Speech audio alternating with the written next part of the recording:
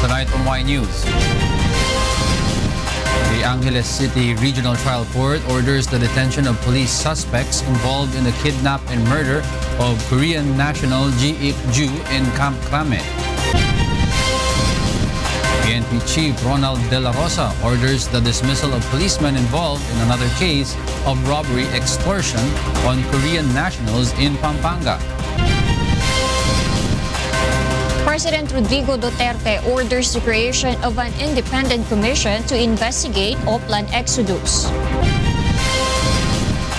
Samar RTC judges face administrative charges for issuing search warrants against Albuera Mayor Rolando Espinosa Sr. Why News begins now. From the UNTV News and Rescue Command Center, this is Why News with Angelo Castro III and Darlene Basingan. Good evening. PNP Chief Police Director General Ronald Bato de la Rosa confirms that the alias Jerry who was implicated in the kidnapping of Korean Jee Ick Joo is an employee of the National Bureau of Investigation. Leah Ilagan will tell us why. Meron naman tayong source din sa NBI na nag-confirm na talagang ay NBI asset yon at ah, driver pa ka ng isang di- director daw doon. So, kinukonfirm naman nila. Alias Jerry, who is allegedly involved in the Jee Ick Joo kidnap slay case, is the driver of a director in the National Bureau of Investigation. This has been confirmed by PNP Chief Police Director General Ronald Bato de la Rosa himself. The general says that aside from alias Jerry, there is another NBI civilian agent and two others who were checking on the work of the alleged kidnap group. May, may mga grupo na na pas, pasulpot-sulpot eh. Para nag-check sa trabaho nila, parang back up lang. Hindi lang niya ma-identify kasi iba-ibang sasakyan eh. Sumusulpot lang daw ganon. Parang back up nila.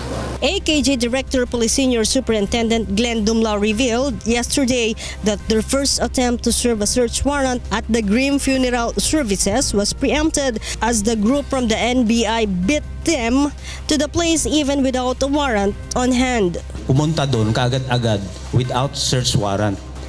Pumunta sila doon using their parang sinasabi investigative power dahil daw mayroon sensational case.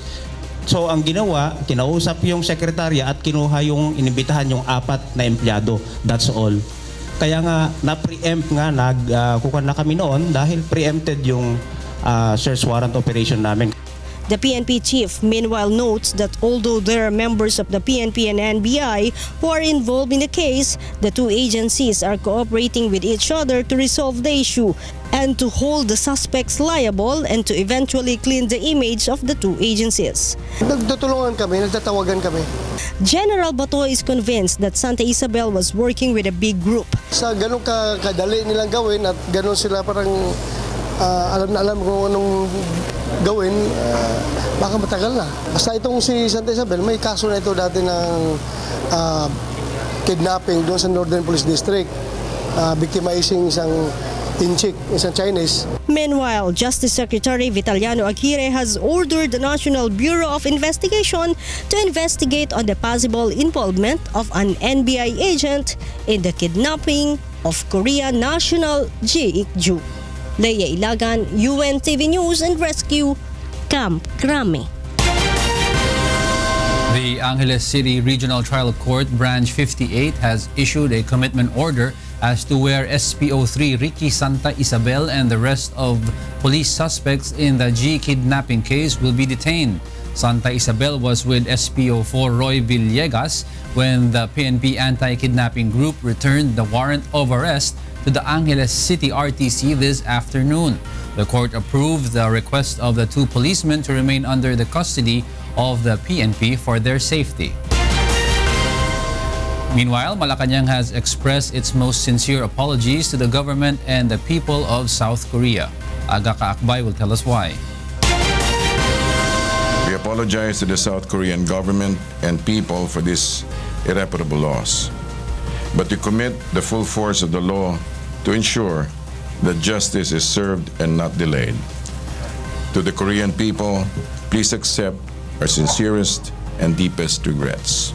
The Malacanang has apologized to the government and the people of South Korea for the death of businessman Jee Ick Joo. Presidential spokesperson Ernesto Abella says the Philippine government vows to deliver swift justice on behalf of the Korean national. The official also admits that the killing of Jee was the result of the Philippine government's deep-rooted problem with corruption. Let's just go back to the president's um, campaign theme to stop crime, corruption, and um, illegal drugs. And apparently, this is a this particular situation indicates that uh, there is truly a depth of uh, corruption within the government system. President Duterte has also expressed his condolences to the victim's widow, Choi Kyung-jin. Aga Caacbay, UNTV News and Rescue, Malacanang.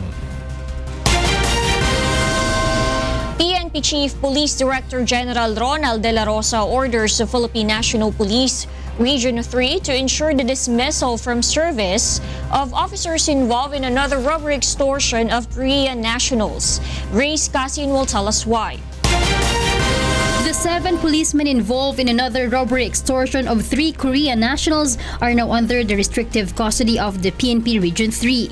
According to PNP Region 3 Director Police Chief Superintendent Aaron Aquino, the suspects who were in civilian clothes went to the residence of these Koreans who only came to the Philippines for a vacation and to play golf. The policemen entered the victim's house to allegedly conduct operations against supposed illegal online gaming activities of the three victims. The suspects extorted 300,000 pesos from the victims and took all their golf shoes, golf clubs, jewelry, computers, cell phones, and some more cash, among others. Out of fear, the victims opt to report the incident directly to the Korean embassy instead of the Angeles City Police. And indeed, was positive. May nangyari nga sa aming uh, robbery extortion na kinabibilangan ng pitong pulis ng Angeles pero sa ngayon may ina-identify pa kaming isa kasi according to the victims uh, walo yung police na na-involved doon sa robbery extortion na yun. The victims did not file criminal complaint against the suspects, but nevertheless submitted their affidavits before heading back to Korea. The PNP will use the said affidavits to file administrative cases against the seven policemen. Tinawagan ako ni Chief PNP at uh, nagbigay siya ng directive sa akin na siguraduhin na itong pito na ito ay maitapon, ay, ay ma-relieve at matanggal sa serbisyo. The chief PNP also ordered to have the seven policemen investigated if they're connected to SPO3 Ricky Santa Isabel. Pero most likely may mga, uh, i-check pa natin yung connections nila. Oh, pero local ito doon, mga local ito sa, sa Station 5. The PNP chief earlier said that they will not let any cover-up to happen in favor of police officers involved in illegal activities. Grace Casin, UNTV News and Rescue, Camp Krame. The Department of the Interior and Local Government, in coordination with the Philippine National Police, will intensify its intelligence gathering on illegal gambling operations in the country. Joyce Balancho will tell us why.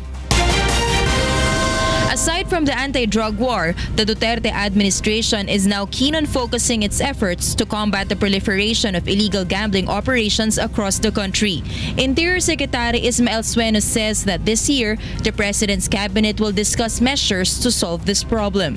At this month, di ba, nagtawag uh, sa amin yung command conference ng PNP at saka military. So uh, sinabi niya sa PNP at saka sa military, tulungan nyo kami, tulungan nyo ang PCSO. Dahil sa PSO, dito galing, manggagaling ang itulong natin sa mga mahihirap. Sueno adds that the Department of Interior and Local Government, in coordination with the Philippine National Police, is now intensifying its intelligence gathering to catch the perpetrators of illegal gambling. During the hearing of the Games and Amusement Committee, Senator Panfilo Lacson stressed the need to amend the charter being observed by the Philippine Charity Sweepstakes Office or PCSO to make it more suited to the present time. Authorities should also clarify reports about local government officials such as mayors and congressmen receiving from revenues of small town lottery or STL. Pero pagdating sa congressional district, wala namang wala namang institutionalized na treasurer yung congressman. So why would a congressional district receive uh, a share from the PCSO? Now, again, I'm not against it, but we should find a way to legalize it, you know, to authorize it under the law. Lacson stresses that illegal gambling business continue to operate because of local officials and police personnel protecting them. Even Secretary Sueno admits being bribed by gambling operators. I'm trying to find out who is uh, who is getting it for me. So, uh, tsaka tanong nyo, bakit kinukuha mo? Hindi naman, wala naman akong utos sa'yo. Laxon's committee will study key legislation to address illegal gambling operations.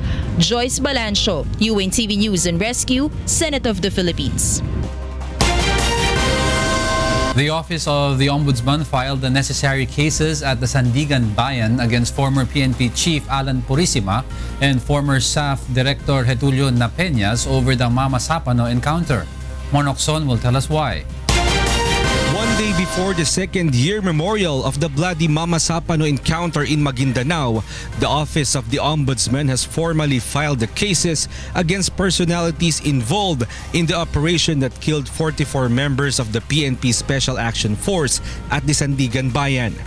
This include former PNP Chief Alan Purisima and former PNP SAF Director Getulio Napeñas.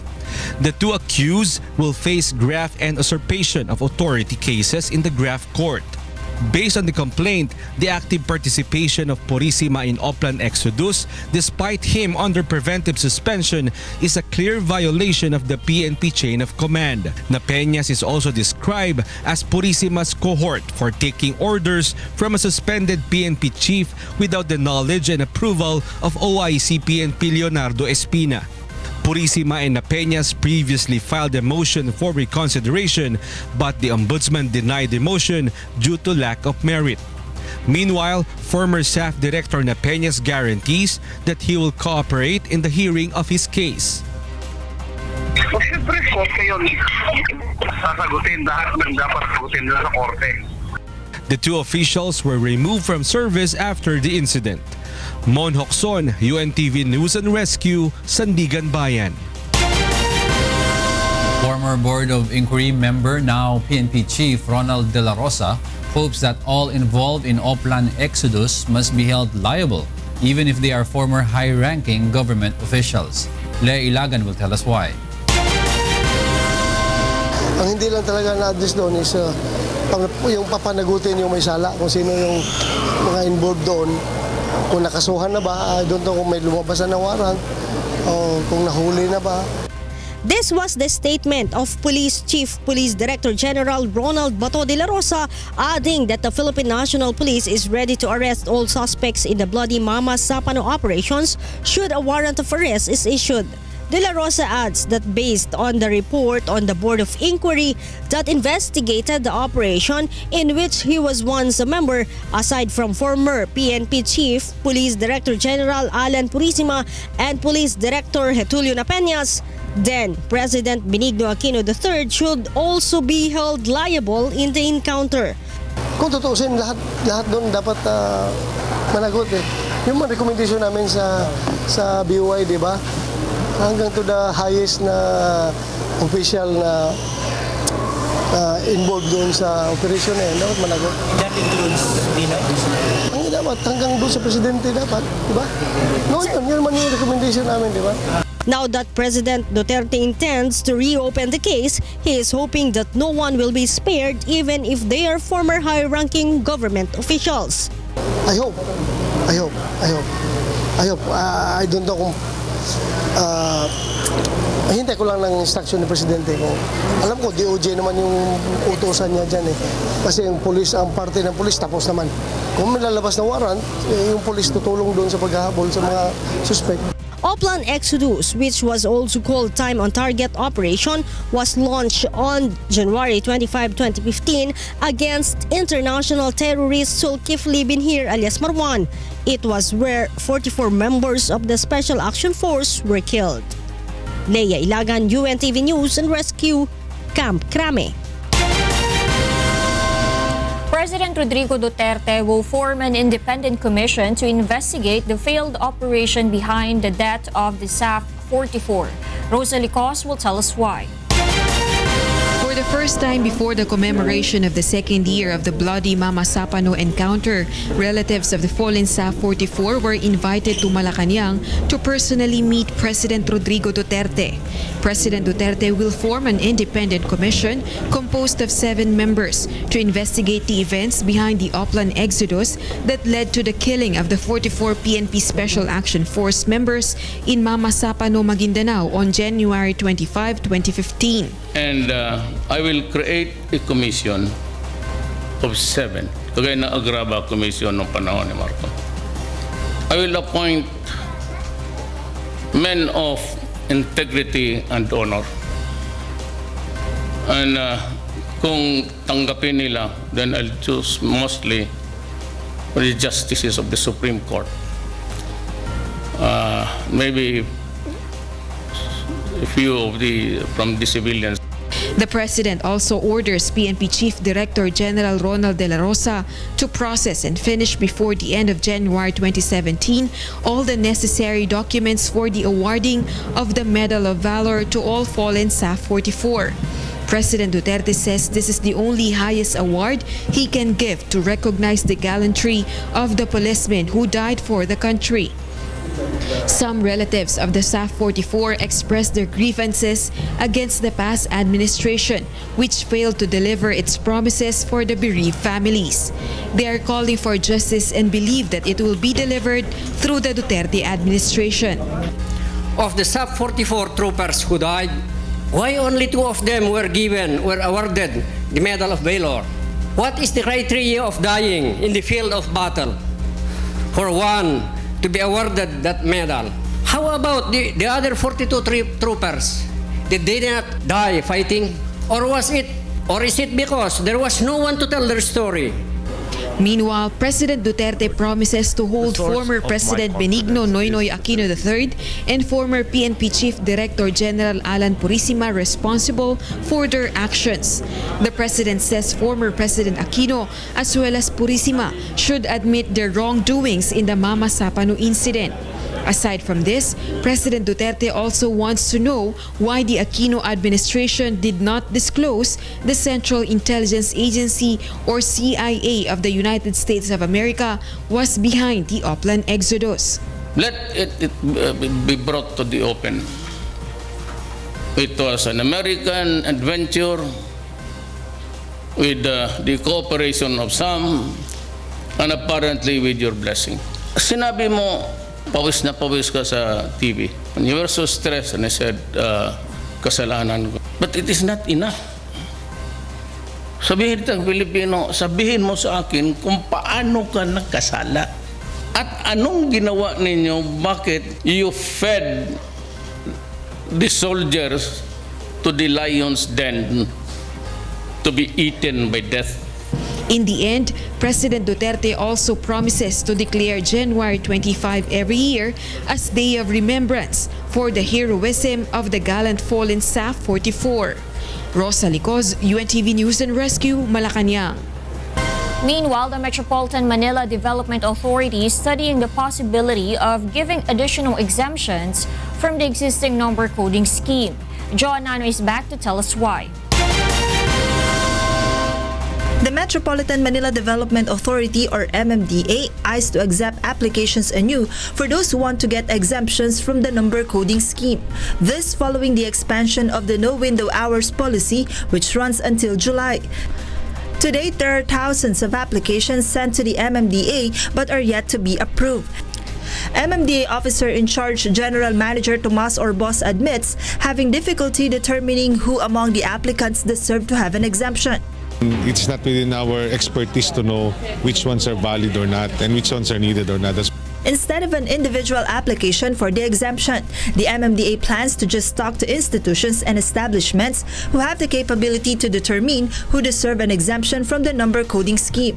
Di kausapin ko na lang ho yung media institution. Tulad doon sa medical, di yung hospital na lang magsabi sa akin sino dapat yung bigyan ng exemptions. Rather than yung doktor mismo. It can be noted that the MMDA temporarily suspended the issuance of exemption for the number coding scheme last January 21, 2017. The agency meanwhile plans to set stricter policy in issuing exemption to ensure that those deserving will be the one to receive it. For now, the MMDA will study the plan first. Afterwards, it will set a schedule for the reopening of the application. Joan Nano, UNTV News and Rescue, Makati City. Next in Why News. Members of the House of Representatives seek to penalize acts of bullying and discrimination of marginalized or powerless members of society. And Samar RTC judges face administrative charges for issuing questionable search warrants against Albuera Mayor Rolando Espinosa Sr. and inmate Raul Yap. Why News will be right back.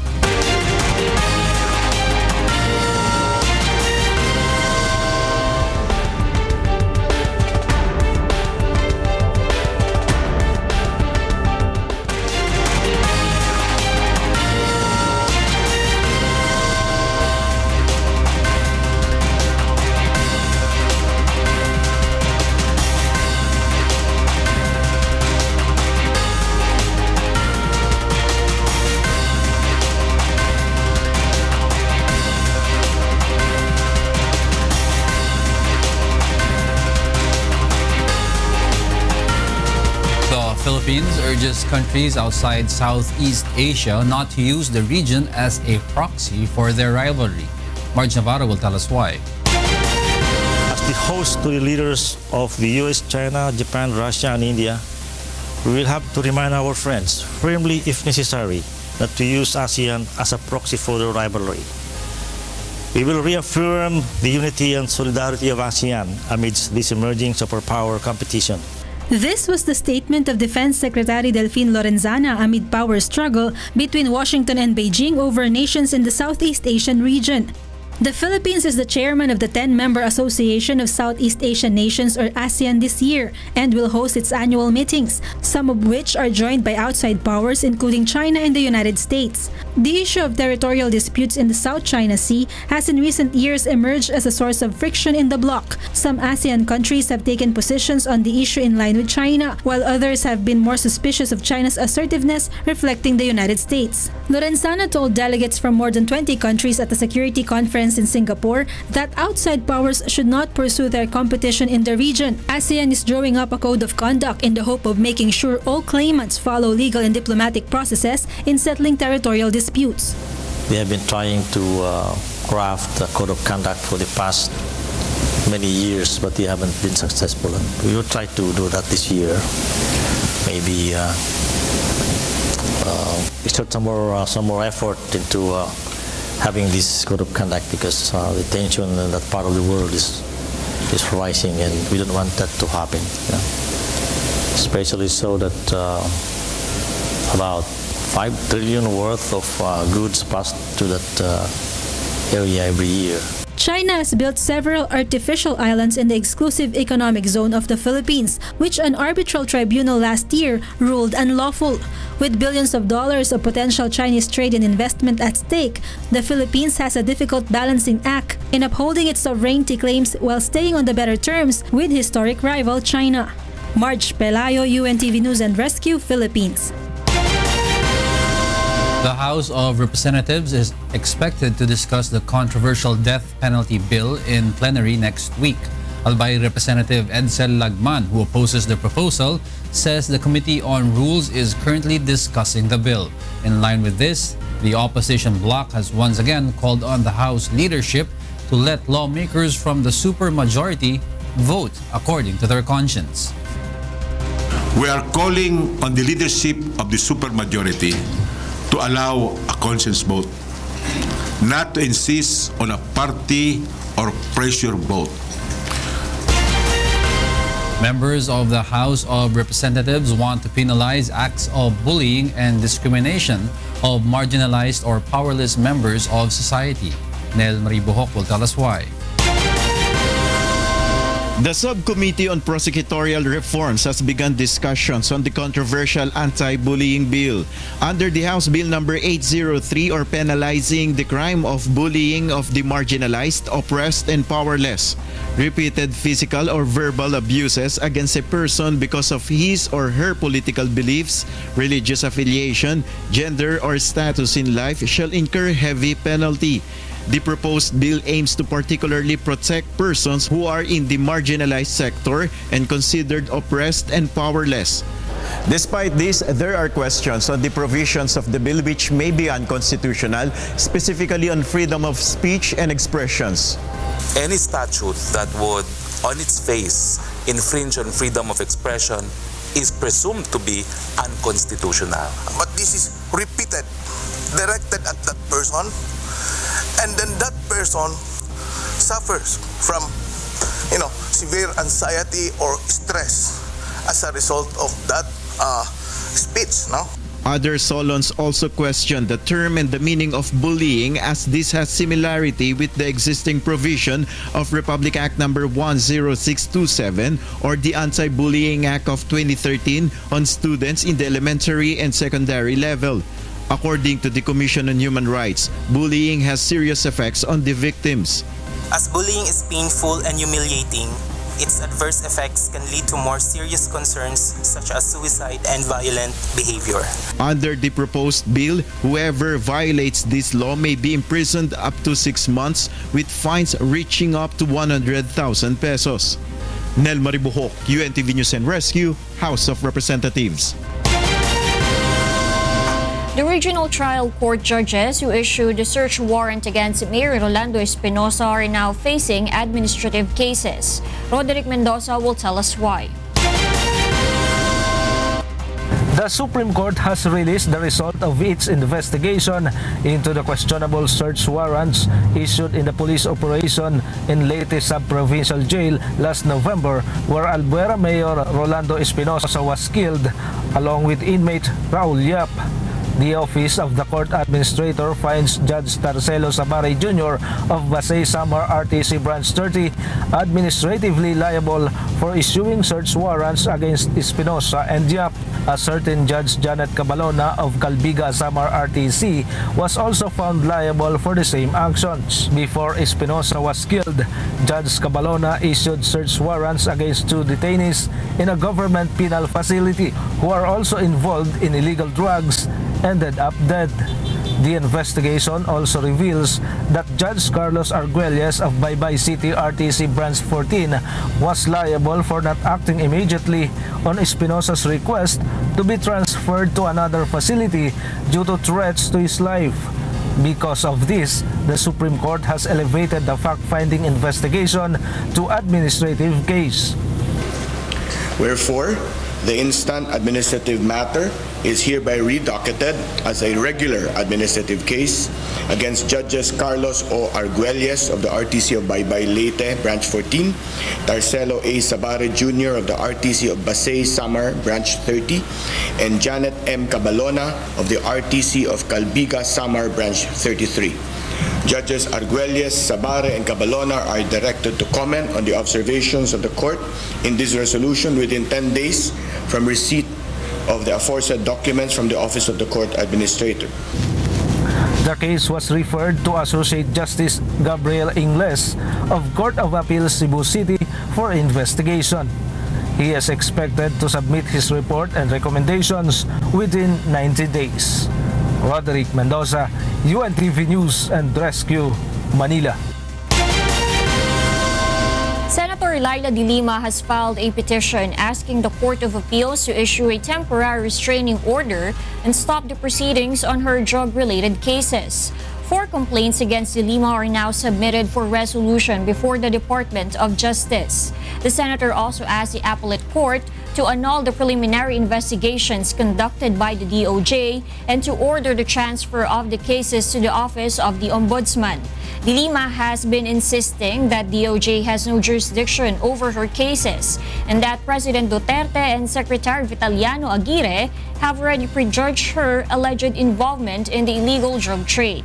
The cases were filed against De Lima for her alleged complicity in illegal drugs activities inside the new Bilibid prisons and for allegedly receiving millions of money from believed drug lords.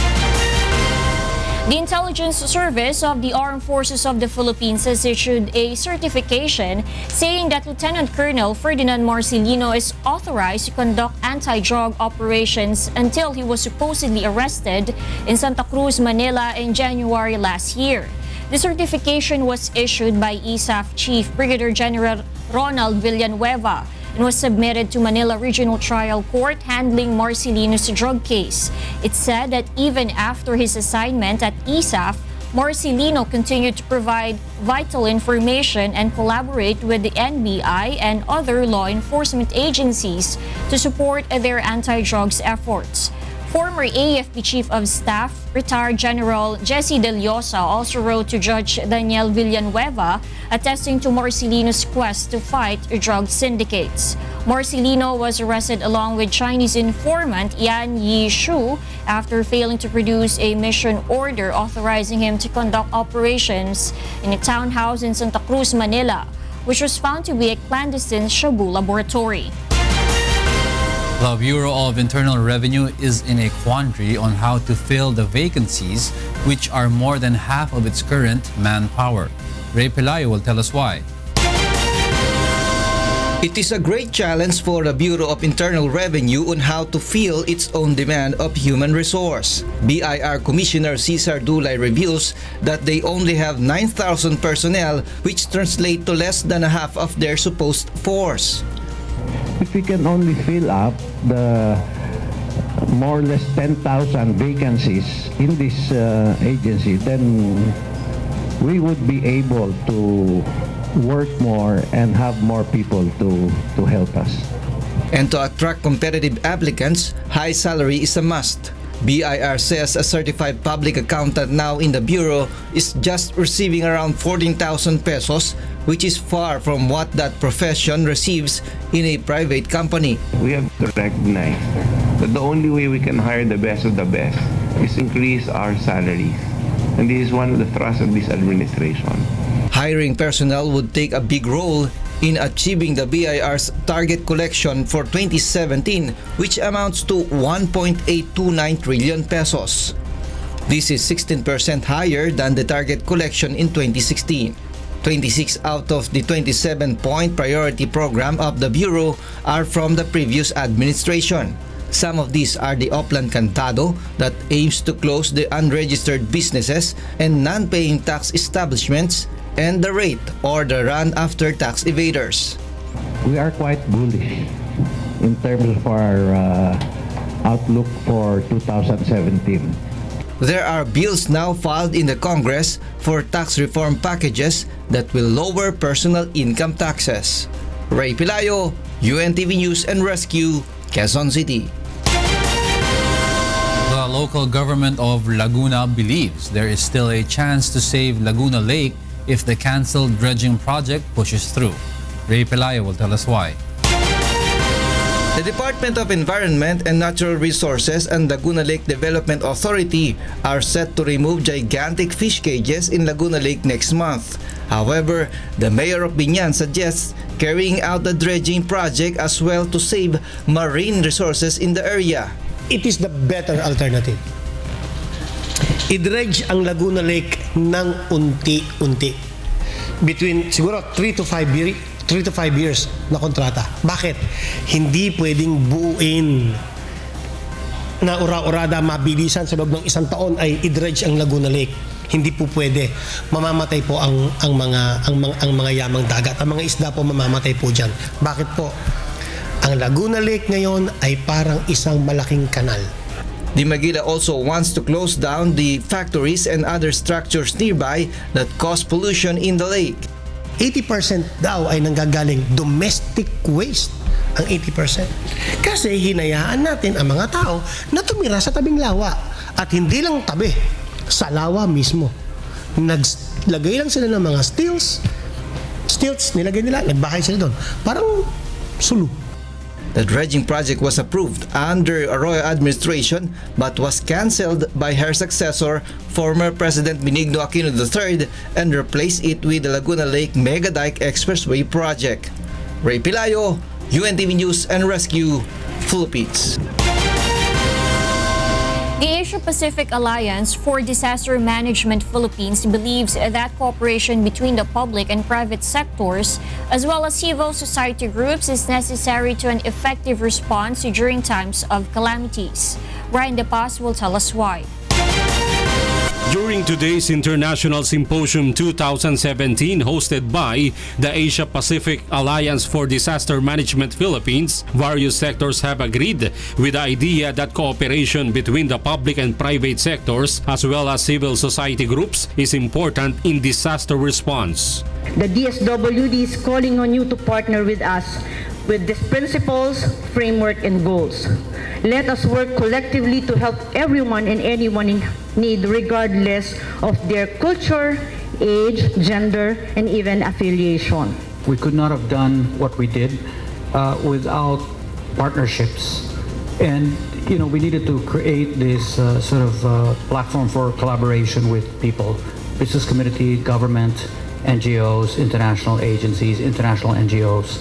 Several members of the private sector have also expressed support for the government's programs in addressing calamities. PCCI is one of the leading organizations in making sure that the private sector will become aware and engaged in the DRRM program in initiative of the government. Meanwhile, the National Disaster Risk Reduction and Management Council or NDRRMC reports that nine individuals were killed, 10 were injured, and 2 remain missing due to bad weather condition in several provinces in Visayas and Mindanao. More than 17,000 families were evacuated in the regions of Visayas and Mindanao due to massive floods. And the RRMC says more than 100,000 families or more than 500 individuals in the said regions were affected by the calamity. More than 4,000 families meanwhile are still in evacuation centers.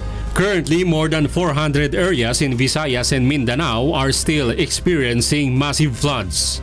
The relief operation of the DSWD together with the armed forces is ongoing in provinces affected by the calamity.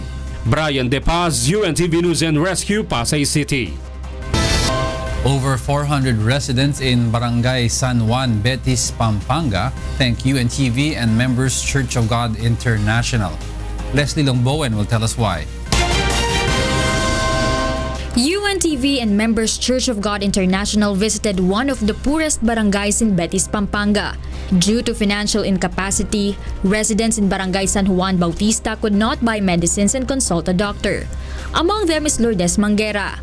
That's why she grabbed the opportunity to avail the free medical mission rendered by UNTV and MCGI. ano, uh, yung anak ko si Pon. At, uh, uh, Brad Eli at saka kay Brad Daniel Rason, maraming salamat kahit na hindi ko kayo nakakarap ng personal. Maraming salamat at maraming taong kayong natutulungan dito sa medical mission na to.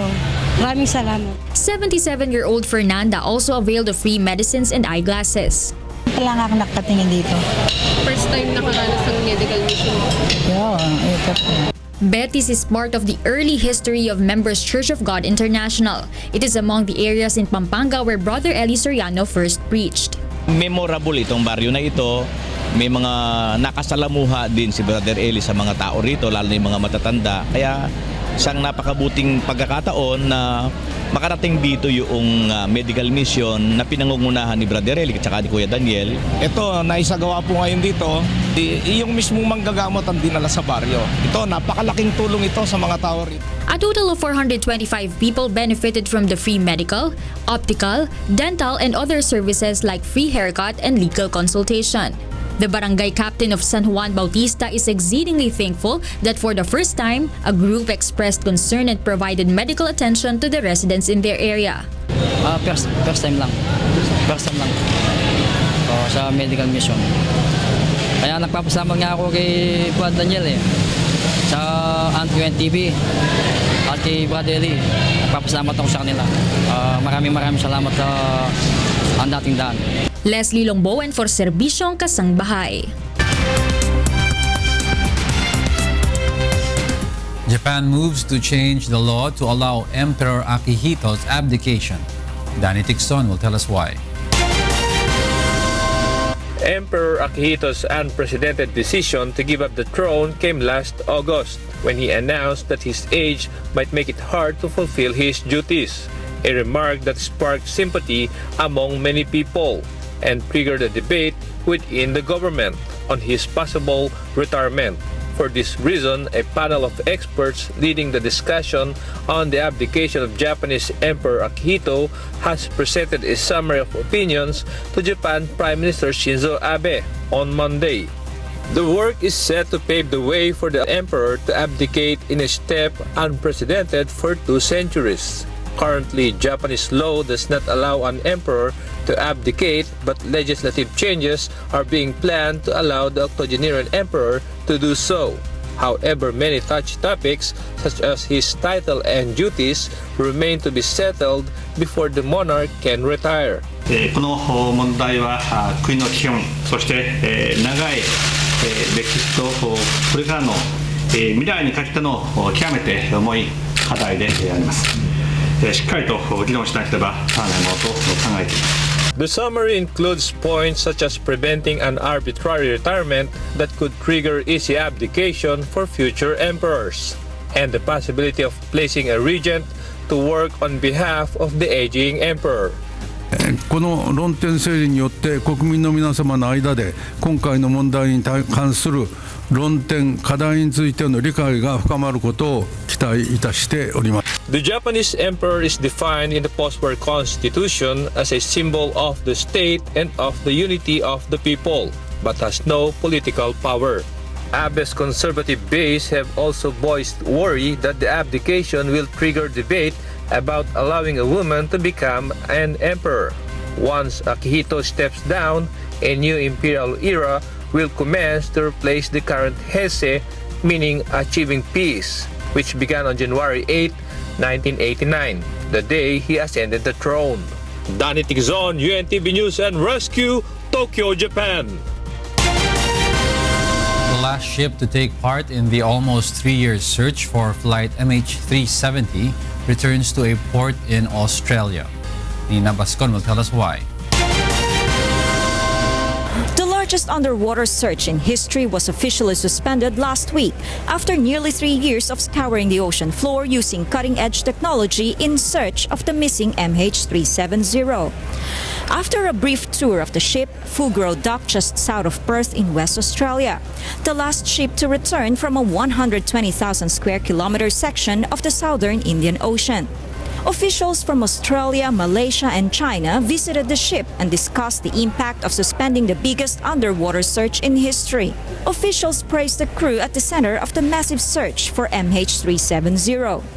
This has been an extraordinary search effort and it's been in some of the most inhospitable oceans in the world. Uh, there have been occasions during the underwater search where sea states in excess of 20 metres have been experienced by the crew. They told us the, the difficulty uh, they face uh, in the deep sea waters. Uh, sometimes, in four days, they have to face high wind of strong wind of 140 km per hour continuously for four days, and they can't uh, operate in that kind of bad weather. MH370 disappeared in 2014, shortly after taking off from Kuala Lumpur bound for Beijing with 239 people on board. Australia led a massive search effort that failed to find the aircraft, despite the discovery of several pieces off the coast of Mozambique and Reunion Island.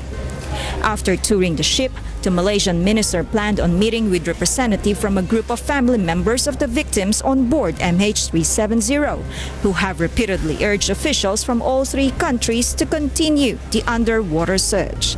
Our thoughts and prayer will always be with the family members and the loved one of those on board MH370. Having not found uh, the aircraft does not indicate failure.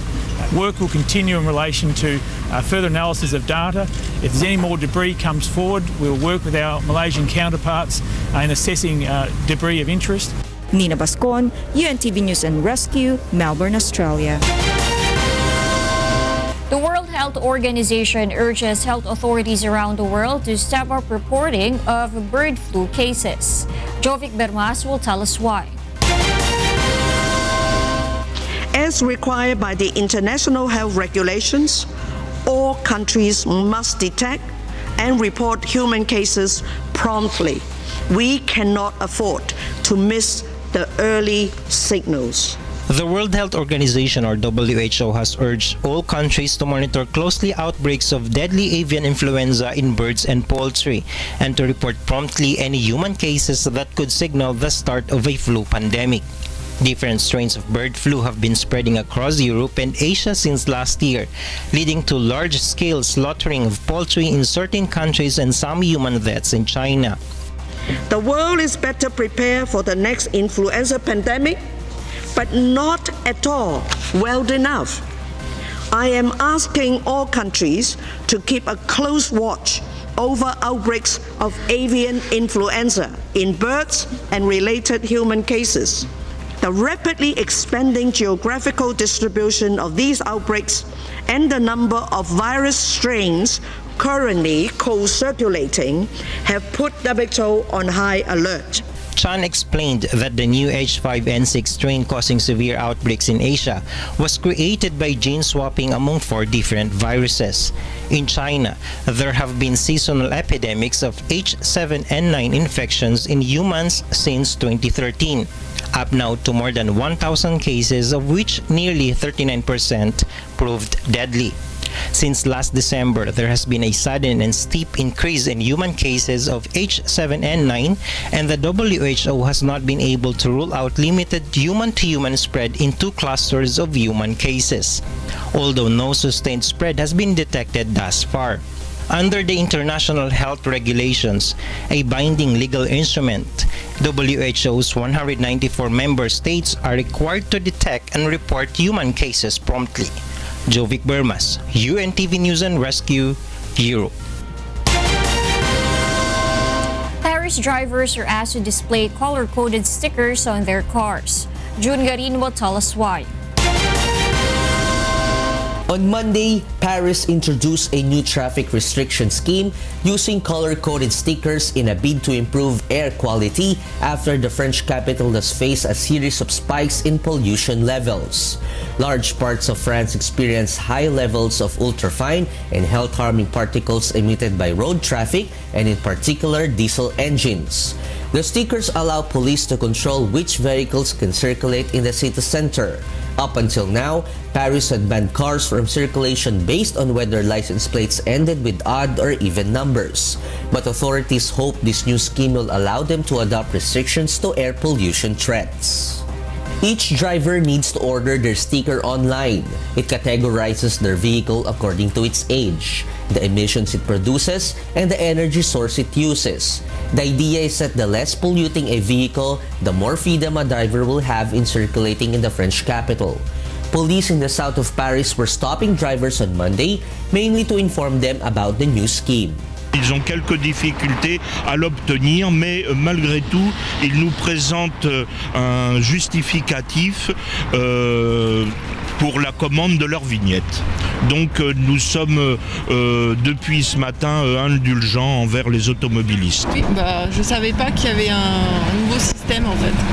Donc euh, je le découvre, on vient de me l'apprendre, donc euh, je comprends qu'il faut que j'achète une vignette et que de toute façon je suis autorisée à circuler aujourd'hui avec mon véhicule, donc euh, tout va bien pour moi. Mais bon, je connaissais pas ce principe. France has faced several episodes of high pollution levels in recent years. French health authorities ask school children to stay indoors and for individuals to abstain from any physical outdoor activities during spikes. La pollution se sent physiquement, vraiment, que j'ai des enfants en bas âge et que je le vois, je le vois à leur peau, à leurs cheveux, que c'est perceptible. Et je trouve ça extrêmement dommage que dans une ville dite lumière, Paris, on n'arrive pas à régler ce problème-là. Ça me semble lunaire. Paris Air Watchdog Air Paris extended their high pollution warning until at least Tuesday in France. June Garin, UNTV News and Rescue, Paris, France. The New England Patriots takes on the Atlanta Falcons at Super Bowl 2017. Meanwhile, former world number one Tiger Woods announces his comeback. Aga Caacbay will tell us why. In golf, former world number one Tiger Woods is all set for a comeback to the PGA Tour from an injury. Woods, who was not able to play due to back pains for the past 15 months, will launch his official return at the January 26 to 29 Farmers Insurance Open at Torrey Pines in California. This is this is a very special place, and for to come back here, I'm really looking forward to it. As far as the state of my game, I'm excited about playing this week. Uh, I feel like I'm playing well. Uh, I just need to get some tournament rounds under under my belt. The 41-year-old American has not played an official money event since August 2015. In cycling, after four days of fierce biking in the mountains surrounding Gstaad, Switzerland, Nicola Rohrbach and Katrin Luhmann, the pair from Switzerland came out victorious to win the Snow Bike Festival race. The race played out over four stages, finished with the home favorites proving popular winners in both men's and women's categories. In the men's race, Rohrbach dominated from the start, winning the first stage and then never looked back. In the women's race, it was a Swiss top three with Luhmann holding off Esther Suess into second and Cornelia Hag into third. And in football, the New England Patriots defeated Pittsburgh Steelers 36-17 in the American Football Conference Championship on Sundays, ensuring a ticket to the Super Bowl. The Patriots, who beat the Green Bay Packers 44-21 earlier on Sunday, will face the NFC champion Atlanta Falcons in the National Football League's showpiece on February 5 at NRG Stadium, Houston, Texas. New England will be making a National Football League record ninth appearance in the Super Bowl looking for their fifth championship. Aga Caacbay, UNTV News and Rescue, Philippines. 126 students gathered to compete in the 97th National Schools Press Conference 2017 in Pagadian City, Zamboanga del Sur. Eileen Taclob will tell us why. 126 students gathered to compete in the 97th National Schools Press Conference 2017 in Pagadian City, Zamboanga del Sur. This is the pilot category of the NSPC in the field of TV broadcasting. The participants from 18 regions across the country will compete in the TV script writing and broadcasting. The student participants say they have prepared for the contest through various trainings.